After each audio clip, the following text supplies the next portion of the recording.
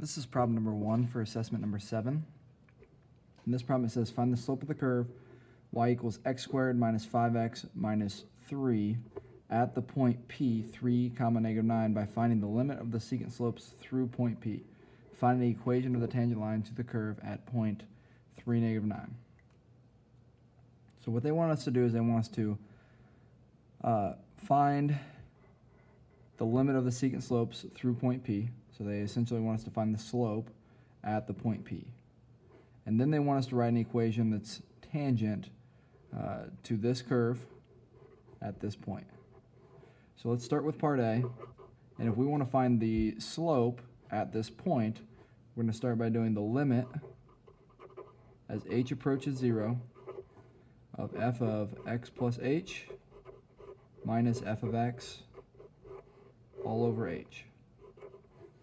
And so we take this, uh, we take this polynomial or quadratic here, and we're going to plug in x plus h into uh, this function, and our goal is to cancel out the h. If you notice here, when we take the limit as h approaches 0, if we plug 0 into the denominator, uh, I mean, we're going to divide by 0, so that's undefined. So what we need to do is cancel this h out, and uh, that's our goal. So we're going to take this x squared minus 5x minus 3, and have x plus h plugged into it along with x, and then we're going to do some algebra to cancel this h out. So we're going to say that equals the limit as h approaches 0, and we're going to say x plus h squared minus 5 x plus h minus 3. That's just the f of x plus h part. I plug this in for the x and this in for the x here. Now I have to subtract the f of x, which is just a function, right? This is just f of x technically equals x squared minus 5x minus 3, so we're going to say minus x squared minus 5x minus 3, and that's all over h. Now this x plus h squared, I'm going to write that as x plus h, so this is just ditto for the limit, x plus h times x plus h minus, I'm going to distribute 5x minus 5h minus 3 minus x squared plus 5x plus 3. That's all over h.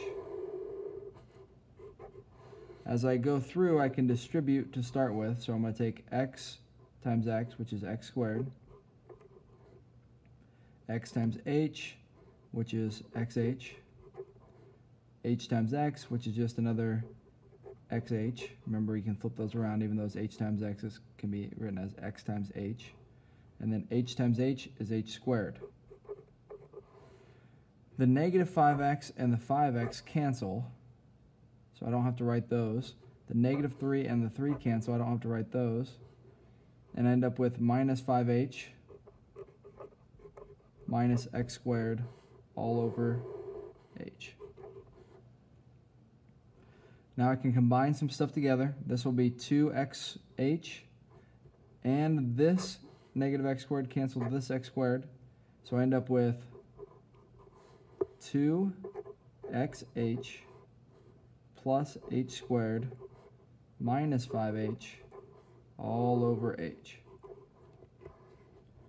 So now I can factor out an h uh, from the from each term in the top, and that'll be h 2x plus h minus 5 all over h. Now I can cancel the h's out, which was my goal to start with, so that's equal to the limit as h approaches 0 of 2x and then I can say plus 0 minus 5 is equal to 2x minus 5. So this is the expression for the slope at any point on this curve, x squared minus 5x minus 3. What I want to do now is I want to use this to find the slope at point P. So what's the slope at p 3 comma negative 9. Well, what we're going to do is we're going to say m equals this 2x minus 5, so 2, plug in the x value, which is 3, minus 5, and we end up with 6 minus 5, which is 1. So the slope at point P is 1. That's part A. That's what they were asking us for. Now part B, they want us to find the tangent line at P 3 comma negative 9. So we take the slope, which is uh, m equals 1, and we say y equals 1x plus b. Plug in our coordinate 3 and negative 9, so negative 9 equals 1 times 3 plus b. So negative 9 equals 3 plus b. Subtract the 3. Negative 12 equals b, which means my equation is y equals, I can just write this as x minus 12. This line is tangent to this curve at this point, P3 negative 9.